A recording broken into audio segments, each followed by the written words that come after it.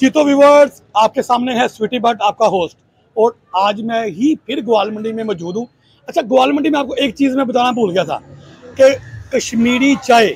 आज हम एक ऐसी शॉप पे मौजूद है जिनका नाम हबीब चाय के नाम से मशहूर है। और कश्मीरी चाय वो मैं आपको बता दूँ, उसको कहते हैं सबज चाय, जो हम सुबह बाकरानियों में डबो कर जिस चाय में बाकरानियाँ खाते हैं, और वो उसको कहते हैं कश्मीरी चाय।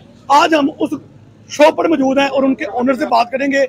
कि इनकी इतनी पुरानी दुकान और ये जो कश्मीरी चाय है इसकी क्या क्या जो है वो खुशबुएँ आती हैं जिस कश्मीरी चाय की आज हम उसी दुकान पर मौजूद है। तो व्यूवर्स आए मेरे साथ उनसे बात करते हैं। जी। सलामकुम वालेकुम। अस्सलाम। जी पहले तो ये बताएँ हमारे बड़े भाई का क्या नाम है? मेरा नाम जी अजीम हफीज। अच्छा अजीम हफीज़ भाई आज हम आपकी शॉप पर मौजूद हैं। और ये ज़रा आपने हमारे व्यूवर्स को बताना है क्योंकि सारी बात है ये कश्मीरी चाय सबज चाय कश्मीरी चाय हम इसको कहते हैं। बिल्कुल। क्योंकि हम खुद कश्मीरी हैं। बिल्कुल। और जब तक ये अंदरून शहर में ये नाश्ता ना हो बाकरानियों का और चाय का कहने ने कि वो लोड़ी ही नहीं जरा नाश्ता नहीं करता क्या कहते हैं इस बारे कश्मीरी में? नहीं, आओ कश्मीरी- नहीं कश्मीरी जी बताएँ जरा। कश्मीरी चाय के बारे में? हाँ जी कश्मीरी चाय के बारे में। कश्मीरी चाय अल्लाह की मेहरबानी से हम हमारी शॉप से आपको जो मिलेगी ऐसी क्वालिटी आपको चंद एक शॉप है लाहौर में बेचने वाली। अदरवाइज़ बाकी या मंडी में चले जाएँ या कहीं और चले जाएँ इस क्वालिटी की चाय आपको नहीं पैकेट पकड़ के जरा बताएँ जरा हमारे व्यूवर्स को कश्मीरी चाय का कौन सा पैकेट है जी? ये व्यूवर्स ये है कश्मीरी चाय। कश्मीरी गुलाबी चाय का क्या मतलब जी? पिंक कलर की बनती है ना ये इसका अच्छा। कलर पिंक निकलता है। कई लोग कहते हैं कि कश्मीरी चाय को वो पिंक रंग देते हैं वो रंग डालने के लिए। ये बताइए इस बारे में आप क्या कहते हैं? कलर निकाल वो फंक्शनों में जो यूज़ होती है ना वो कलर यूज़ करते हैं। अच्छा। जो घरों में यूज़ करते हैं वो तो उनको बनानी आती है ना उनको उनको तो कलर का मज़ा ही नहीं आता। जो व्यूवर्स हमारे आपको देख रहे हैं अगर जिनको ये सबज चाय नहीं बनानी आती उनको ये आप बता सकते हैं कि ये ऐसे बनती है? इसका तरीकाकार हमारे हर पैकेट के ऊपर लिखा हुआ होगा। अच्छा। ये। देखें ये पैकेट है ये तरीकाकार लिखा हुआ है हमने। अच्छा। हर पैकेट के ऊपर लिखा हुआ है इसके ऊपर लिखा हुआ है ये देखें इसके ऊपर लिखा हुआ है। प्राइस मेंशन करें और इसकी तादाद जो है वो मेंशन करें। ये कितनी? ये अट्ठाईस सौ रुपए किलो है। ये? हाँ जी ये आधा किलो है चौदह सौ रुपए हाँ की ये सात सौ रुपए की है एक पाव। अच्छा एक पाव। हाँ जी। अच्छा ये बताएँ कि आपने असली शहद भी रखा हुआ है। अल्लाह की मेहरबानी से। ये हम चैलेंज कर सकते हैं अपने व्यूवर्स को कि आपके पास एक नंबर शायद है? मेरी शॉप की कोई भी चीज़ जो है ना मेरे घर में मेरे बच्चे खाते हैं। इससे ज़्यादा गारंटी मैं नहीं दे सकता। नहीं एज ए एंकर मैं उनको कह सकता हूँ कि आपको चैलेंज है। मैंने आपको बोला है कि मेरे बच्चे खा रहे हैं। माशाल्लाह। मेरा शहद खा रहे हैं देसी घी खा रहे हैं चाहे जो हम यूज़ करते हैं शहद की तीन चार शीशी बताएँ कौन कौन सा शहद आपके पास मौजूद है? व्यूवर्स जो लोग शहद से महरूम है असली शहद से वो इस दुकान पर आ सकते हैं।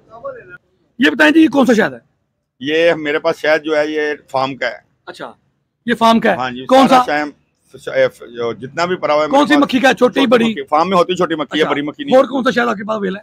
मेरे पास बेरी वाला भी है वो भी फार्म का है। अच्छा वो भी फार्म का वो भी फार्म का और आपके पास ऐसी कौन सी चीज़ें हैं जो हमारे व्यूवर्स आपके पास आके खरीद सकते हैं जो ब्लैक टी जो है अल्लाह की मेहरबानी से मैं मेरी उम्र पचास साल हो गई है तो मेरे दादा ने शुरू किया था ये काम। अच्छा। तब का किया था ब्लैक टी पकड़ सकते हैं हम? किस तरह होगी ब्लैक टी ये ये देखिए।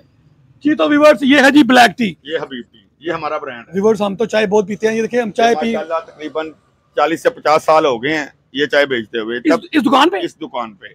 और तब से बेच रहे हैं जब अकबरी मंडी में चाय नहीं बिकती थी। तो मैं खुद अकबरी मंडी का रेशी हूँ। अकबरी मंडी में चाय नहीं बिकती थी तब से हम चाय बेच रहे हैं। माशाल्लाह जी माशाल्लाह। जी तो व्यूवर्स आपको मैं ये भी बता सकता हूँ कि इनके पास अमेरिकन गिरी जो है वो भी मौजूद है। फिर इनके पास बादिया खताई जो है वो भी मौजूद है। और सौंफ इलायची शहद बटोसलिम टी बैग जो होता है, वो भी मौजूद है। देसी घी भी इनके पास मौजूद है और बेड़ी का शहद भी इनके पास मौजूद है। व्यूवर्स और सब्ज इलाचियाँ जो चाय में डाल के उसके टेस्ट को दुबाला करती हैं, वो भी ये मेरे अगर कैमरामैन भाई हैं तो वो जरा सब्ज इलाची हैं और जो जो पत्तियाँ साथ पड़ी हुई हैं, वो हमारे व्यूवर्स को दिखाएँ। बादिया कताई, जो और चीज़ें चीज़ें सौंफ, और भी जो चीज़ें पड़ती हैं, वो हमारे व्यूवर्स को आप दिखाएँ, ताकि वो ग्वाल मंडी में हबीब चाय वाले जो हैं, उनके पास आकर ले सकें। ये देखें व्यूवर्स हाँ देसी घी व्यूवर्स ये देखें, देसी घी, इन्होंने चैलेंज किया कि इस जैसा देसी घी पूरी ग्वाल मंडी में नहीं मौजूद। एज ए एंकर मैं आपको ये कहता हूँ कि आप इनका देसी घी भी यूज़ कर सकते हैं और हमारे, हमें बता सकते हैं कि इनका देसी घी भी आपको कैसा लगा। तो व्यूवर्स एक बार इस दुकान की आपने विज़िट लाजमी करना है। ग्वाल मंडी हबीब चाय वाले, बड़े मशहूर हैं।